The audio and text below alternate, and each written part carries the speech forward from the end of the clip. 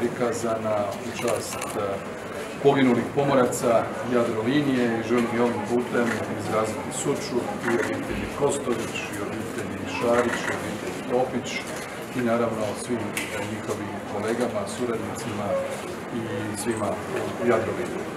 Postavljam u Primorsko-Goranskoj županiji i na raznim ste nesrećama bili. E, Kako to da niste otišli mjesto e, najveće tragedije u povijesti Jadrolinije izuzev Domovinskog rata?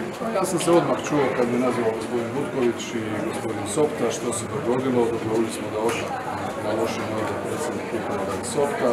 Ovo je jedna specifična nesreća, dakle nije riječ o havariji broda koji je plovio, nije riječ o sudaru, riječ je o nesreći koja se dogodila dok je brod bio e, na Lošinju, čekao nove putnike i u tom trenutku procijenili smo da je dobro da tamo ode predstavnik Jadrolinija. Naravno, otišli su predstavnici ministarstva i sve nadležne službe, i policija i državno odvjetništvo, i predstavnici agencije.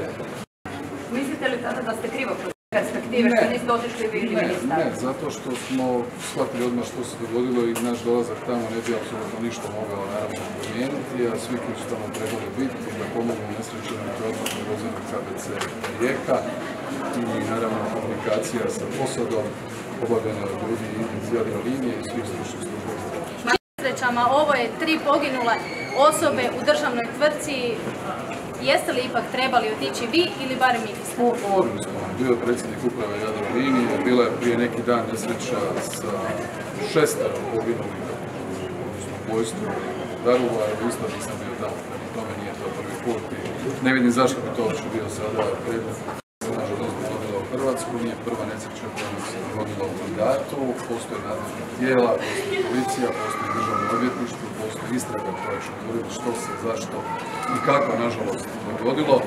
Na trajektu Lastovo, tek kada oni, a ujedno i djelatnici agencije o kojoj sam govorio za istraživanje nesreća, između ostalog i u pomorskom prometu, utvrde činjenice, utvrdimo razlog, onda ćemo možda govoriti o tome tko, zašto i kako je odgovoran za ovakav, ovakvu nesreću na trajektu.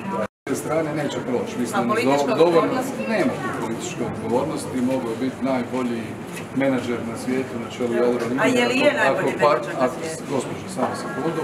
Mogu biti najbolji menadžer na svijetu, na čelu bilo koje kompanije, ako se ovako nešto dogodi na jednom trajektu, a vidjeli ste i sami, Jadrolinija ima 57 brodova, ima 600 isplovljavanja na dan, nesreća je jedna, jedina takva koja se dogodila uopće u povijesti kompanije i prvo ćemo činjenice. Imali vaš Imaju i Butković i Sopta, tu uopće nema nikakve dileme.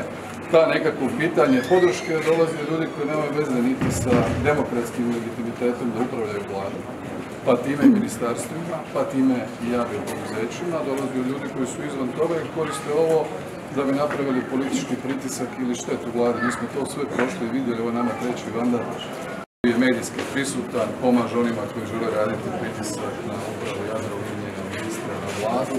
To je sve normalno i legitimno demokratskom društvu. Investicije, ulaganja u brodove Jadrolinije od 2018. na ovamo su takve da su vrijedne 120 milijuna eura, da su kupljeni zanovljena flota, da se kupuju i novi brodovi, da Jadrolinija kad god je, pazite, ja sam isto s otoka, Jadrolinija znači život svima koji su na otocima. Ovom nesreću. Pa očito se upozoravalo na stanje u floti.